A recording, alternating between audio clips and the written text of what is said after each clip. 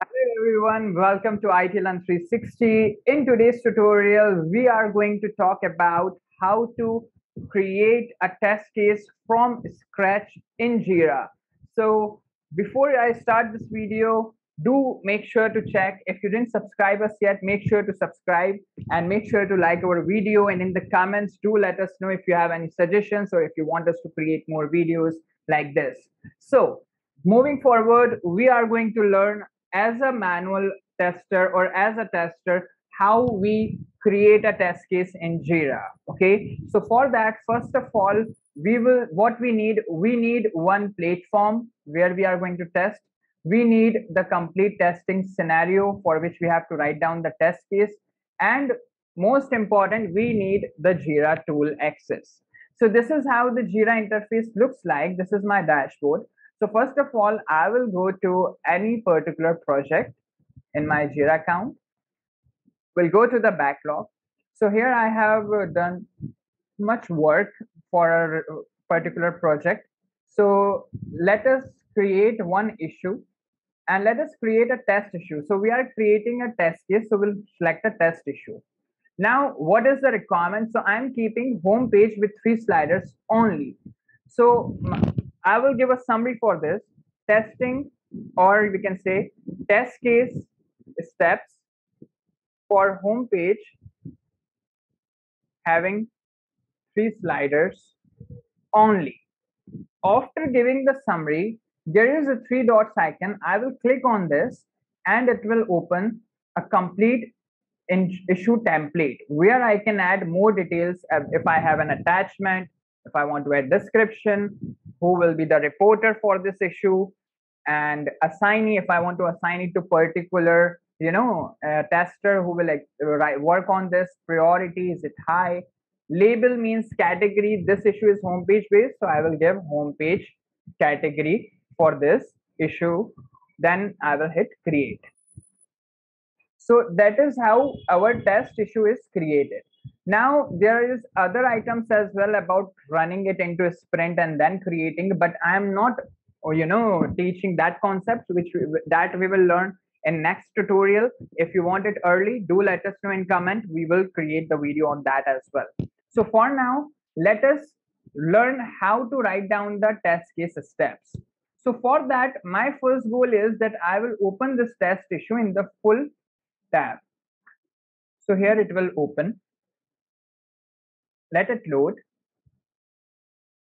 So once, if, if you guys observe, once it's loaded, here is the written, all the options, and here is the test steps. I will write data, what I'm going to use for testing, and the result. Okay so this we can write according to our you know company standard if company want actual result we'll write actual but mostly we write here expected result okay so let us create first step so based on the requirement open the browser enter the url click here then click here then test whether homepage has three sliders or not so my first step will be open the browser i'm ignoring enter the url which URL?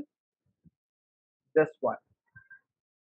So I copied this and I add as a test data, right? And what I'm expecting that the given URL should open. Now, once I'm done with this step, I will hit write. And then I will write down the second step. If I think I did one mistake, I can click here and I enter the URL in Chrome. And then I will do this so it that is how it will be updated as well then second step based on the requirement click on shop then home click on shop button there is not any test data which we need to enter so we'll leave it blank and then we'll come to test result shop button should work. Or open as well we can say. Right. Then third step click on home button. Then home button should work. Or open.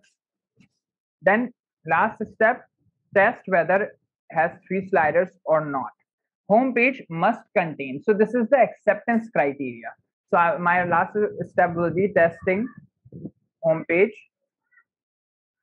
Have three sliders or not. Then my expected is home page should have three sliders only. Done. Once I am done writing all my steps, next is I have to do actual testing as well. I have to execute my test case. So same in this test issue, you can find the option here execute, right? So we'll click on this execute and then it will ask us that do you want to go with by default with from Jira which come execution page. So yeah, and if our company is using any existing cycle, we will select that. So for now, execute ad hoc and execute.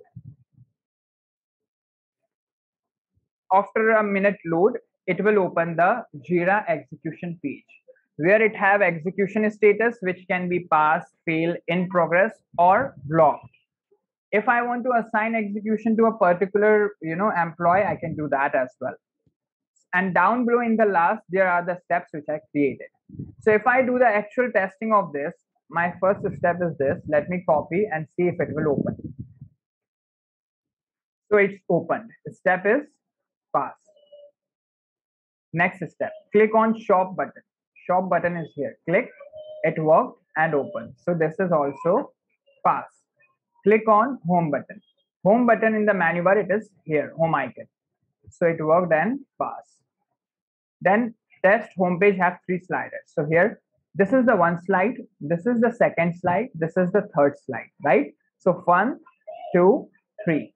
So yes, homepage have three sliders only. So when I made all the steps pass, Jira itself asked us that, hey, all the test steps are passed. Do you want to change the current uh, execution status to pass as well? Then yes, execute. Now, this is how we do the complete test execution in Jira. In future videos, we will learn about defect as well, how we assign a defect in Jira. If you guys have any more you know uh, demand for the videos do let us know. We will definitely try to create more videos for you. I hope you guys enjoyed this video.